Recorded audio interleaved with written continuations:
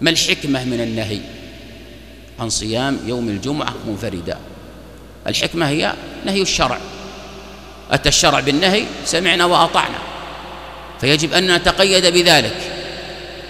لكن هل استنبطت حكم؟ نعم. قال بعض العلماء لكي يتقوى المسلمون على العبادة في يوم الجمعة. ولكن قال ابن القيم رحمه الله في هذا نظر. لما؟ لأنه لو صام يوما قبله أو يوما بعده انتفى الأمر. إذن هذه العلة التي ذكر بعض العلماء غير صحيحة.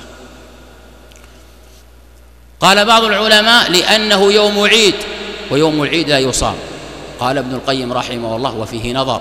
لما؟ لأنه لو صام يوما قبله أو يوما بعده انتفى هذا فدل هذا على أن هذه الحكمة غير صحيحة. إذا ما الحكمة؟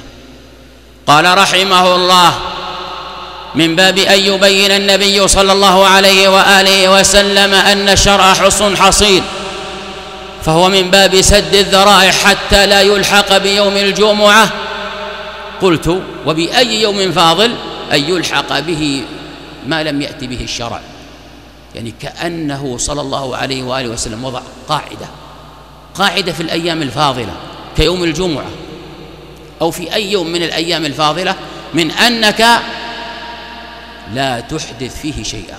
ولذا هذا الحديث وهو النهي عن صيام يوم الجمعة على وجه الانفراد يرد تلك البدع من أذكار من دعاء من عبادات. خصص يوم الجمعة بها ولها فالشرع سد الباب.